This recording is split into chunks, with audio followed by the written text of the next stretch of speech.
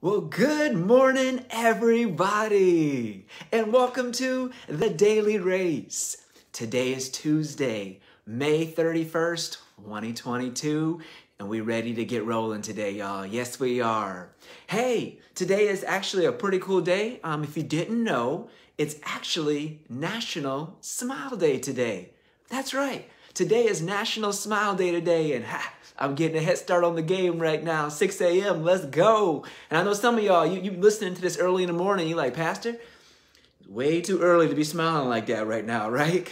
Some of y'all like, Pastor, I need to get my second cup of coffee first before I start smiling like that. But hey, y'all, this is the day the Lord has made. We will rejoice and be glad in it. And I'm trying to get your day started out right. So with National Smile Day being today, hey, I'm all in, y'all. I hope you are as well. Let's go. So it's going to be a great day today as we're going to spend some time in God's Word. We're going to go ahead and get running today. Um, we're going to, you know, be helping Pastor Ryan out here. We got a few more days, so we'll be on the daily race before Pastor Ryan hops on back in the game, and I'm sure he's going to be smiling as well because he got a couple week break, a little vacation, rested up, and ready to run again. So, as we are walking through the books of 1st and 2nd Samuel, 1st and 2nd Kings, and 1st and 2nd Chronicles, today I'm going to read to you about when God shows up. When God shows up today. Uh, when Solomon's kind of all finished with the temple right here. So, hey, check this out. I'm going to be in Second Chronicles chapter 7. Let me get started right now in verse 1 as we begin seeing what happens here when the temple's all completed. It says, When Solomon finished praying, fire flashed down from heaven and burned up the whole burnt offerings and sacrifices, and the glorious presence of the Lord filled the temple. Now, yesterday I was reading through the King's account, and now I'm reading through the Second Chronicles account, and man, here's what's cool right here. When Solomon finished, he's praying. All of a sudden, this fire flashes down from heaven. This was God's way of saying, I see you, I'm in, I like what you guys have done here. Boom, shakalaka, right? Fire flashes down from heaven, and they know that God has put his seal on this temple right here. Now, fire flashing down from heaven, does that sound familiar to you? Well, just a few short years later, eventually Elijah the prophet would be on the scene. And when Elijah the prophet was on the scene, what happened? Well, he had this showdown on Mount Carmel where he challenged the prophets of Baal. And he said, hey, let's both build altars and put sacrifices on them. And we want to see whose fire, you know, the God will actually start. Whoever is the true God, the God of the world, the true God is going to light on fire from heaven, you know, the, the altar. He said, man, they'll just light on fire. And so I think Elijah Elijah cheated, y'all. He had a little advantage. He had a little insight, didn't he? Now, maybe not cheated. It's probably a strong word, but Elijah knew from the past that his God would show up in an amazing way. So when Elijah lit his offer and the other prophets of Baal lit their offer, nothing happened to the prophets of Baal, but Elijah's offer, fire whoosh, flashed down from heaven. It struck Elijah's altar on fire, and people knew at that moment the Lord was God. You see, in the same way, back here, when fire flashed down from heaven, they knew this was a pretty crazy sign. God was on their side. He was doing something amazing. This was so amazing that people got so excited. Look what they went on to do. It says in verse 4 Then the king and all the people offered sacrifices to the Lord. King Solomon offered a sacrifice of 22,000 cattle and 120,000 sheep and goats. And so the king and all the people dedicated the temple of God. 120,000 sheep and goats, 20,000 cattle. This is a big old offering that's offered to God. Such a huge offering that says, Then the priests took their assigned positions, and so did the Levites, who were singing, His faithful love endures forever. They accompanied the singing with music from the instruments King David had made from praising the Lord. Across from the Levites, the priests blew the trumpets while all Israel stood. Everybody's celebrating right now. This is a big deal. A big worship service is going on right now. People are singing. People are calling out to God. People are playing instruments. Things are going amazing right now. People are so excited dedicating this temple to the Lord. Matter of fact, this actually went on. It was a 15 day deal that happened right here. You had the seven days where they dedicated the altar. You had the seven days for the Festival of Shelters, and then a closing ceremony day. So 15 days worth. Matter of fact, that's why when they sacrificed so many sheep and cattle, that's what the people ate for those 15 days. They didn't have freezers and refrigerators to store all the meat. They just went to town on it all. They had a big feast. And what happened at the end of that big feast? We read this. Verse 10 Then at the end of the celebration, Solomon sent the people home. They were all joyful and glad because the Lord had been so good to David and to Solomon and to his people Israel. What did it say? he sent them home and they were all joyful and glad. That's another way of saying they went home fat and happy, y'all. They had a good day, a good couple of weeks. It was hey, it was National Smile Day up in Israel right there as well, right? They were smiling. They were so excited about what God had done. They couldn't wait to celebrate and share that with everybody in the community, the amazing things of God. And what's so cool is after that, after that time happened, a little while later, look at what it says in verse 11. It says, So Solomon finished the temple of the Lord as well as the royal palace. So this took a little while to finish the royal palace as well. So although this is written like right after this inside the Bible, like the very next verses, we know it's probably a span of at least 13 years or so later after that, because after he had built the palace as well, that this was a, a big deal. After that had happened, it says he completed everything as he planned to do in the construction of the temple and the palace. Then one night, the Lord appeared to Solomon. So then God shows up again. You know, God showed up before Solomon began building the temple. He said, Hey, ask for whatever you want. And Solomon said, Just give me wisdom to lead these people of yours. And God said, I'm going to give you wisdom and everything else that comes with it, too.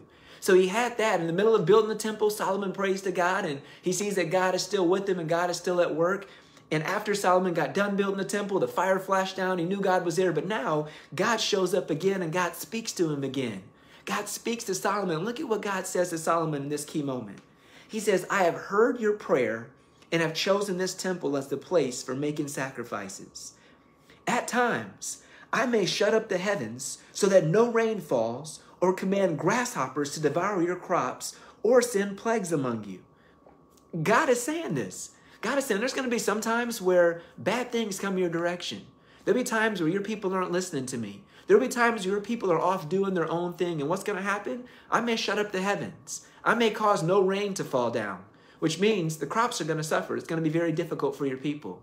Or I may send grasshoppers to come and devour the crops. Once again, that's going to mess with your people. God is saying some tough things may come your direction. I may send plagues your direction. I may allow these tough things to happen. If your people aren't listening, if they aren't paying attention, if they're going astray, I may allow bad things to happen to your people. But then he tells them this. Then, verse 14, if my people who are called by my name will humble themselves and pray and seek my face and turn from their wicked ways, I will hear from heaven and will forgive their sins and restore their land. That verse right there might be one you've heard before in the book of Second Chronicles, probably the most famous verse inside of it. God is telling his people that, you know what? Your people may go astray. They may turn, they may go a different direction. And he says, then bad things may come their way, but he gives them a promise. He says, but then, if your people will first of all, what? Humble themselves. Humility, that's the first step towards really turning back towards God.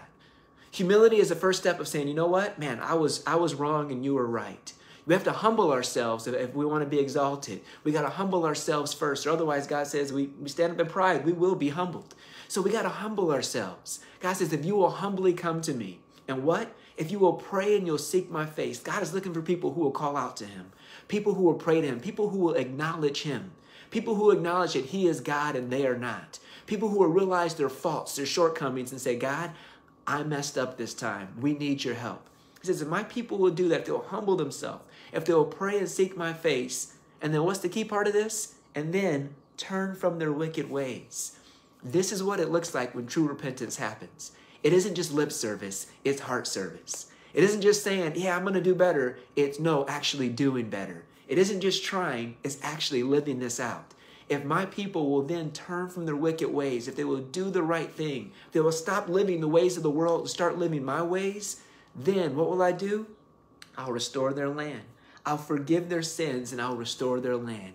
He'll forgive us for the things we've done wrong. He'll restore our land. You see, this wasn't something that was just good for the Israelites to hear thousands of years ago. Man, this is something we need to be hearing today and be reminded about no matter what country we live in. Because we live in the United States of America, I can only speak for our country at this time and say, man, we've made some poor decisions over time. We've made some decisions that would be very dishonorable to God. There's some things we do as a nation that I'm sure that God isn't looking down from heaven and having a National Smile Day and smiling about. Some things that we've done that have really dishonored his name, that have really made his name look bad. And, and sometimes we call this, you know, you know, America's country or, God's country or, you know, you know, in God we trust. And yet some things we do that really don't make it seem like we trust in God, but we trust in ourselves. There's some things we've done that would just really, uh, really, it would really make God not happy or not pleased with us. And these things that we've done that maybe we didn't do personally, but we as a nation have done, man, that's that's some tough things. We used to be called a Christian nation, and now a lot of people would say, well, you guys are a post-Christian nation, looking at what you're doing and the way you're living right now. My hope is that we as a nation would realize passages like this and live these things out.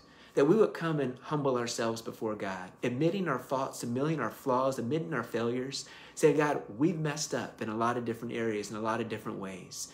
And change, it starts by looking in the mirror. Change, it starts with me that if you and I would start this process of humbling ourselves, and if God's family, His bride, the church, would begin to humble ourselves and watch what God could do and ask for, for forgiveness and ask God, tell Him that we're sorry, what could happen if our nation saw that and they took on as well?